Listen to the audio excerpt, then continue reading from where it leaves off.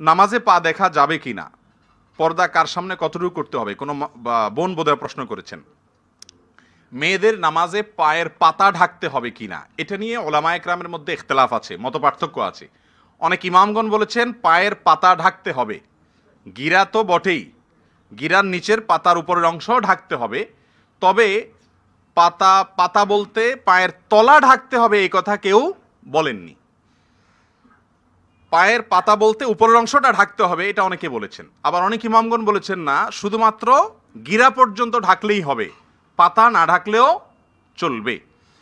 তো যেহেতু মতপার্থক্য আছে, এহতিয়াত এবং সতর্কতা হলো এত বড় পোশাক পরে নামাজ পড়া যাতে পাতাটাও ঢাকা থাকে। তবে তলা ঢাকতে হবে, এটা কোনো বাধ্য কেউই করেননি।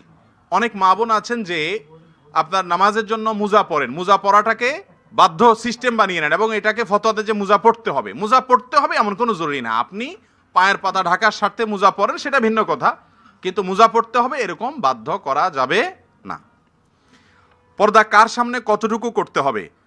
পর্দার আসলে মাপ নাই, যার সামনে পর্দা করতে হবে, পরিপূর্ণ পর্দা করতে হবে। এমন কোনো কথা নাই যে একজনের সামনে হাফ, আরেকজনের সামনে শিখি এরকম কোনো মাপজোপ নাই।